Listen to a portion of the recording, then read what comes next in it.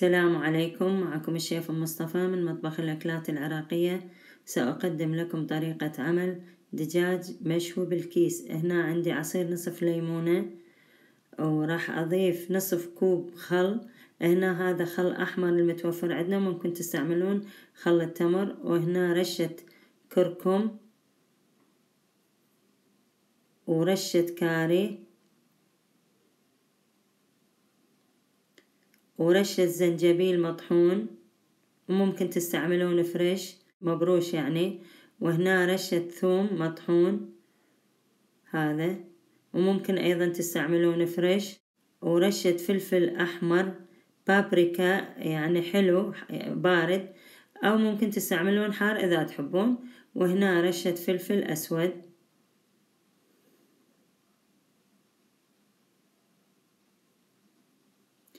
وهنا عندي واحد ملعقة أكل ملح.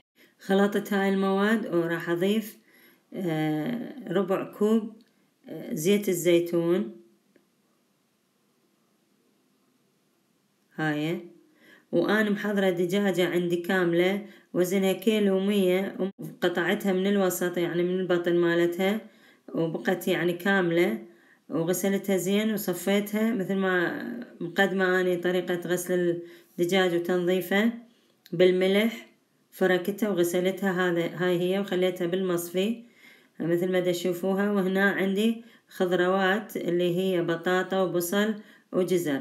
وأنتو شلون تحبون تقطعوها؟ قطعوها الخضروات. أنا قسم قطعتها آه، نصف وبصل الصغار ما ما قطعته. هنا خليتها بهذا الكيس الخاص لشوي الدجاج أو اللحم.